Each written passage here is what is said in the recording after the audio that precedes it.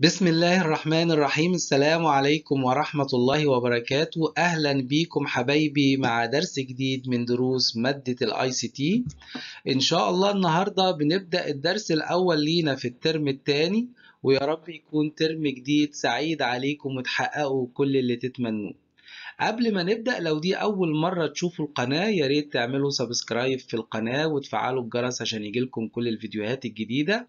ولو عجبكم الفيديو ما تحرموناش من ال like الجميل وال comment اللطيف.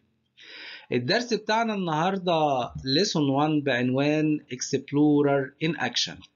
وزي ما إحنا متعودين دايما في بداية كل ثيم جديد أو في بداية كل محور جديد بنتكلم عن شخصية من الشخصيات بنتعرف عليها وبنعرف إزاي استخدمت ال technology في شغلها وإزاي ساعدتها ال technology في تحقيق اهداف فخلونا بقى نتعرف على الشخصية بتاعتنا النهاردة ونشوف دور التكنولوجي معاها وإزاي إن هي استخدمت التكنولوجي في تحقيق أهدافها وتحقيق شغلها. الشخصية بتاعتنا اسمها بيك كاينر وبيك كاينر دي from Chicago in the United States أو United States of America. يعني بيك كاينر دي موجودة أو هي من ولاية شيكاغو في أمريكا. طيب هي كانت بتشتغل إيه بقى؟ بتشتغل أكتر من حاجة. أول حاجة She is a National Geographic Explorer يعني هي كانت Explorer وشغالة فين؟ شغالة في ال National Geographic إيه كمان؟ She is also the Director of Innovation at school in Chicago يعني هي كانت لها position كانت موجودة أو بتشتغل في مدرسة في شيكاغو وكانت ال position بتاعها أو الشغلانة بتاعتها في المدرسة دي إن هي director of innovation أو إيه مدير الابتكار والإبداع. طيب إيه كمان كانت بتشتغل بيك كاينر؟ قال لك إن هي she is a global goals ambassador for the United Nations Association Chicago chapter. يعني هي كانت شغالة كامباسادور دي يعني سفير.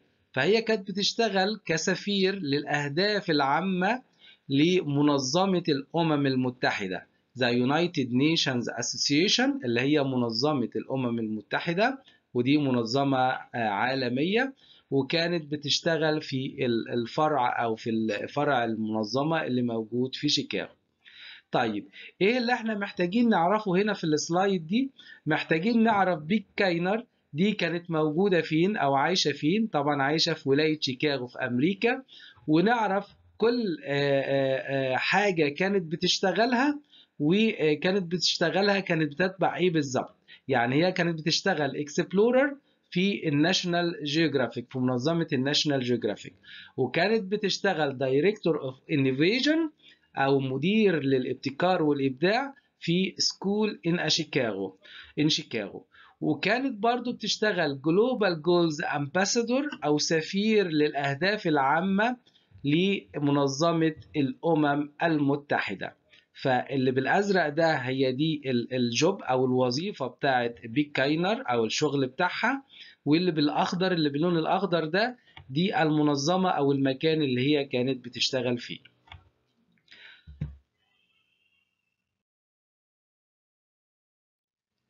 طيب بداية القصة بقى مع بيك كاينر كانت من كوفيد 19 pandemic أو مع جائحة كورونا. فإيه علاقة بقى بيك كاينر بال COVID-19 وإيه علاقة ال technology بالموضوع ده؟ ده اللي إحنا هنشوفه دلوقتي مع بعض. أول حاجة بيقول لي at the start of COVID-19 pandemic in uh, 2020 في سنة 2020 ومع بداية وباء كورونا بيك كاينر was walking around her neighborhood. يعني بيك كاينر كانت بتتمشى في الحي اللي هي ساكنة فيه فأثناء وهي بتتمشى she noticed there was a lot of litter from COVID PPE يعني بيك كاينر وهي بتتمشى لاحظت إن في a lot of litter يعني مخلفات كتيرة تمام؟ لها علاقة بالكوفيد بي بي اي وكلمة PPE دي اختصار ل personal protective equipment أو معدات الوقاية الشخصية. معدات الوقاية الشخصية زي إيه؟ زي ما إحنا شايفين كده في الصورة إن هي ال face masks أو ال mask أو الكمامة اللي إحنا كنا بنلبسها عشان للوقاية من ال COVID-19 وكمان ال disposable gloves أو الايه أو الجوانتي وما ينفعش إن ال litters أو المخلفات دي واللي ممكن ناس تكون بتستخدمها والناس دي ممكن يكون عندها الفيروس كورونا وترميها في الشارع فده ممكن ينقل العدوى لناس كتير وبصورة كبيرة جدا. طيب هي بقى بيك كاينر عملت إيه بقى في الموقف زي ده؟ عملت إيه لما لقت الليترز أو المخلفات الكتيرة ديت موجودة في الشارع؟ قال لك إن ميس كاينر decided to do something to spread awareness of the danger of litter يعني ميس كاينر قررت إن هي do something لازم تعمل حاجة عشان تنشر الوعي. spread awareness يعني تنشر الوعي الخاص بخطورة المخلفات دي. يا جماعة دي مش مخلفات عادية ولكن المخلفات دي خطيرة. ممكن يكون فيها فيروس كورونا اللي يعني أضر العالم كله فده ممكن يضر ناس كتيرة جدا لو إحنا سيبناها بالشكل ده. طيب هتنشر الوعي إزاي؟ هتعمل spread awareness إزاي؟ وتعرف الناس بخطورة المخلفات ديت إزاي؟ تعالوا نشوف مع بعض. أول حاجة Miss كاينر took a photo of the letter and recorded where she found it. فأول حاجة قالت خلاص وأنا ماشية كده أي لتر أو أي مخلفات هلاقيها موجودة في الشارع فأنا هصورها بالموبايل بتاعي مثلا وهسجل المكان بتاعها أسجل هي كانت موجودة فين بالظبط. كمان she used an app called the Debris Tracker. هي استخدمت application أو برنامج على الموبايل اسمه Debris Tracker Debris Tracker معناها إن هو متتبع الإيه المخلفات أو متتبع القمامة. فلو حبينا نعرف معلومات أكتر عن Debris Tracker ده فبيقول إن هو a free application can be downloaded in mobile. ده application أو ده برنامج free موجود متاح على الموبايل ممكن تعمل له download بسهولة جدا. الحاجة الثانية it records the location with GPS يعني هو بيسجل ال location أو مكان المخلفات أو مكان الحاجات عن طريق ال GPS أو ال global positioning system طيب إيه كمان؟ She describes the kind of litter. هي كمان بقت بتوصف بقى ال litter أو المخلفات ديت نوعها إيه؟ هل هي paper دي مخلفات ورقية. هل هي بلاستيك حاجات بلاستيك موجودة. فما بتكتفيش إن هي تصور المخلفات أو ال litter ديت. وتحدد ال location بتاعها ولكن كمان كانت describe أو بتوصف أنواع المخلفات ديت إيه بالظبط.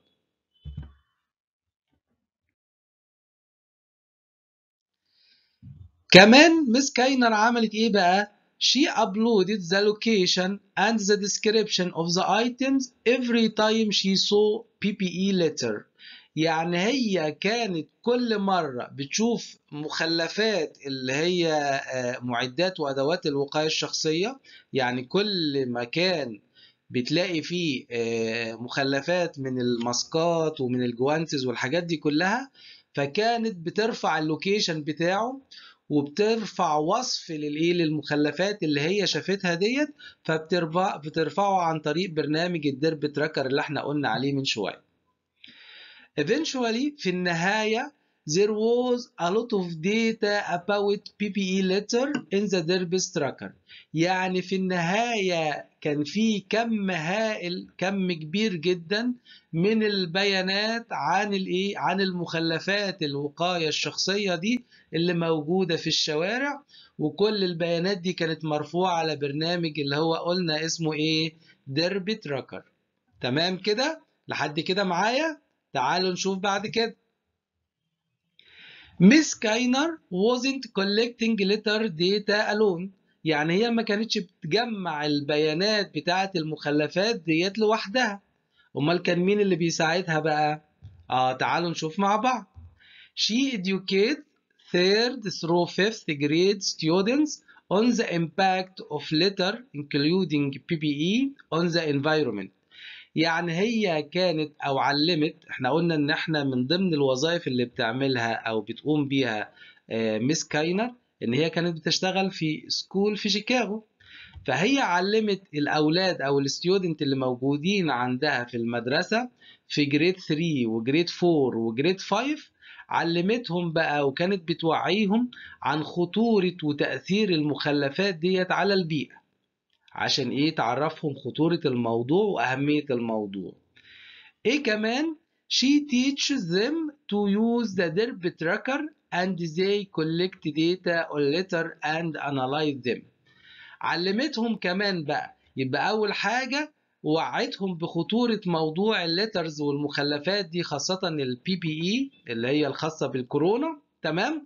مش بس كده وعلمتهم إزاي يستخدموا برنامج ال debris tracker ده عشان يجمعوا collect data عشان يجمعوا بيانات عن المخلفات ديت اللي موجودة في المدينة بتاعتهم.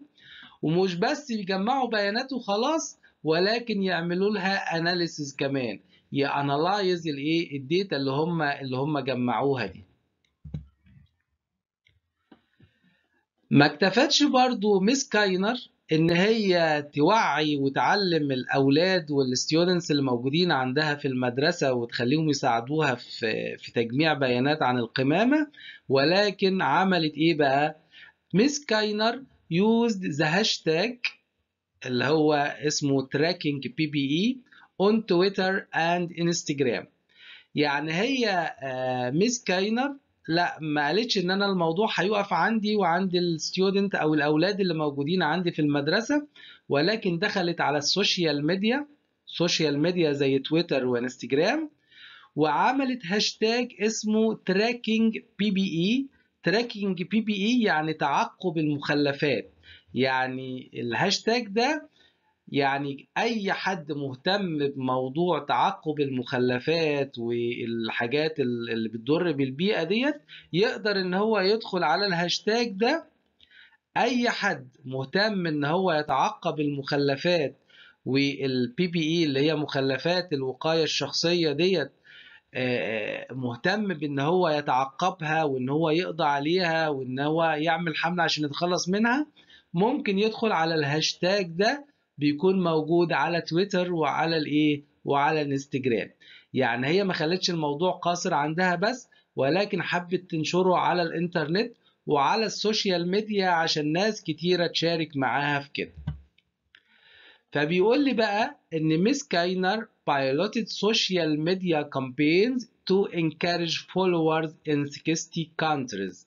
يعني هي شنت حملة على السوشيال ميديا عملت حملة كبيرة على السوشيال ميديا عشان توعي الناس بخطورة ال PPE أو المخلفات الوقاية الشخصية ديت وإن هم تشجعهم إن هم يعملوا زيها في 60 دولة على مستوى العالم.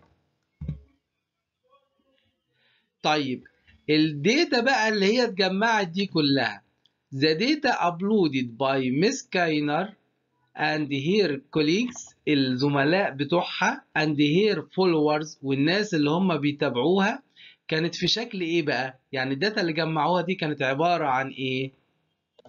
ال data اللي جمعوها دي كانت عبارة عن GPS map locations عبارة عن locations أو المواقع اللي موجود فيها ال PPE litters دي أو المخلفات ديت وكمان كانت عبارة عن infographics infographics يعني رسومات بيانية فيها معلومات عن المخلفات ديت وأنواعها وطبيعتها والكلام زي كده. فهي كانت عبارة عن جي بي اس لوكيشنز جي بي اس ماب لوكيشنز لما يجي يسألني يقول لي البيانات اللي هم جمعوها دي كانت عبارة عن إيه أو كانت في شكل إيه in the form of فنقول له في شكل GPS map location وكمان في شكل infographics أو رسومات بيانية تحتوي على معلومات كتيرة عن المخلفات دي. فبيقول لي هنا ال infographics دي كانت showing the different kinds of debris أو كانت بتوضح الأنواع المختلفة لل debris debris دي برضو زي litters كده اللي هي الأنواع المختلفة للمخلفات.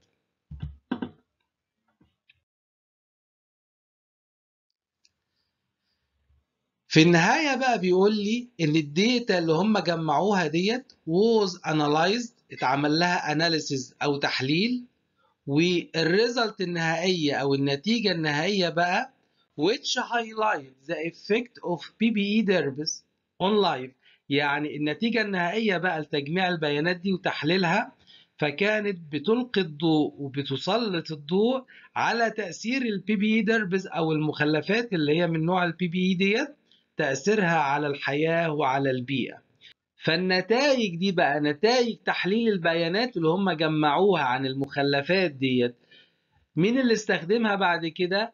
قال لك إن هي were used by researchers الباحثون أو العلماء والباحثين اللي هم مهتمين بموضوع البيئة وموضوع التخلص من المخلفات ديت اهتموا بالنتائج ديت عشان to request change عشان يطلبوا تغيير عشان يطلبوا تغيير الوضع ده ويعملوا حملة كبيرة ويطالبوا بالتخلص من الإيه؟ من المخلفات ديت اللي بيكون لها تأثير كبير جدا ضار على صحة الإنسان وعلى البيئة. طيب بكده خلصنا قصة ميس كاينر مع الكوفيد 19 وعرفنا إزاي إن هي ساعدتها ال technology وعن طريق application اسمه Debris Tracker في إن هي تعمل حملة كبيرة جدا وإن هي توعي الناس بخطورة ال litters أو المخلفات اللي هي الخاصة بكوفيد 19 اللي زي قلنا زي ال masks والجوانتس والحاجات دي كلها. فكده عرفنا الموضوع وعرفنا إزاي استخدمت التكنولوجيا واستفادت منه دلوقتي بقى هناخد حاجة تانية كده. فبيقول لي Social responsibility is the basis on which the Egyptian Ministry of Environment started Go Green Initiative in 2019 يعني إيه الكلام ده؟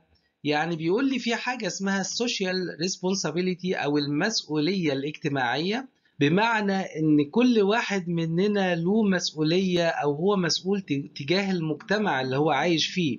مش بس إن هو بيشتغل وبيعمل لنفسه بس وخلاص ولكن المفروض ليه دور تجاه المجتمع وتجاه البلد وتجاه المدينة اللي هو عايش فيها والمكان اللي هو بيسكن فيه. زي ما عملت بالظبط كده Miss Kainer وإن هي لما شافت إن في غلط موجود فبدأت توعي الناس عن خطورة المخلفات اللي هي خاصة بالكوفيد 19 وكده. فده معنى كلمة ال social responsibility. وعلى هذا الأساس بقى social responsibility is the basis on which يعني على أساس المسؤولية الاجتماعية ده فوزارة البيئة المصرية دي عملت مبادرة اسمها Go Green. Go Green دي مبادرة عملتها وزارة البيئة المصرية ديت في سنة 2019 بيقول لي إن ال initiative دي أو المبادرة دي كانت جزء من الاستراتيجية الوطنية للتنمية المستدامة اللي اسمها Egypt 2030 بيقول لي إن Go Green دي بتغطي it covers 36 environmental issue يعني بتغطي 36 موضوع وقضية خاصة بالبيئة and encourage more responsible attitude toward plastic waste and other debris ودي بتشجع إن الناس تهتم وتشعر بالمسؤولية تجاه المخلفات المختلفة اللي بتكون موجودة. طيب آخر حاجة عندنا بيقول لي إن Egypt Go Green initiative أو مبادرة Go Green دي اللي عملتها مصر ووزارة البيئة تحديدا. أول حاجة إن هي بتعمل إيه بقى؟ أول حاجة spread awareness of environmental issue يعني بتنشر ال awareness أو الوعي عن القضايا البيئية المختلفة. قلنا إن هم 36 environmental issue 36 موضوع أو قضية بيئية. الحاجة التانية emphasizes each citizen role in protecting the environment and natural resources. يعني هي بتأكد إن على دور كل مواطن citizen role على دور كل مواطن في حماية البيئة والمصادر الطبيعية. بكده إحنا خلصنا الدرس بتاعنا. الدرس ده يعتبر أطول درس موجود عندنا في المنهج. فمعلش هي البداية كانت طويلة شوية كده بس بعد كده إن شاء الله هتلاقوا كل الدروس سهلة وبسيطة. خلونا بقى نبدأ ناخد بعض الأسئلة على الدرس ده عشان نطمن إن إحنا فهمنا الدرس ده كويس. السؤال الأول عندنا choose the correct answer. Number one big kainer is from نقط big, كان... Kainer دي كانت موجودة أو كانت منين بالظبط؟ ها مين فاكر؟ طبعا قلنا إن هي من شيكاغو. Number 2 Miss Kainer used an application called نقط to collect data about PPE litter. طبعا استخدمت app أو application اللي هو اسمه Debris Tracker number 3 Egypt's Go Green Initiative spread awareness of نقط issues. ال Go Green دي اللي عملتها مصر المبادرة دي كانت هدفها نشر الوعي بخصوص إيه؟ طبعا بخصوص environmental issue أو قضايا بيئية. Number 4 Miss Kainer piloted social media campaigns on نقط to encourage follower to collect PPE. كاينر طبعا عملت الكامبين أو الحملات الإعلامية بتاعتها على الإنترنت على تويتر وعلى الإنستجرام يبقى الإجابة هنا هتبقى A and B. طيب true or false number one big كاينر is apologist طبعا غلط وعرفنا ان هي كانت بتشتغل إيه بالظبط. number two Derbis tracker app can be downloaded on your phone for free صح طبعا. Number three, Miss Kainer, we was collecting litter data alone. يعني Miss Kainer كانت بتجمع data عن ال litters أو المخلفات دي لوحدها طبعا false لأن هي طبعا علمت ال students بتوعها في المدرسة وعملت حملات كمان عشان الناس تساعدها في تجميع الايه تجميع البيانات بتاعت المخلفات. نمبر 4 Twitter and Instagram are common social media platform طبعا true. Number 5 The Go Green Initiative spread awareness of environmental issues يعني الجو جرين انيشيتيف دي كانت بتنشر الوعي عن environmental issues طبعا برضو إيه true. كده نكون وصلنا لنهاية الفيديو بتاعنا النهارده.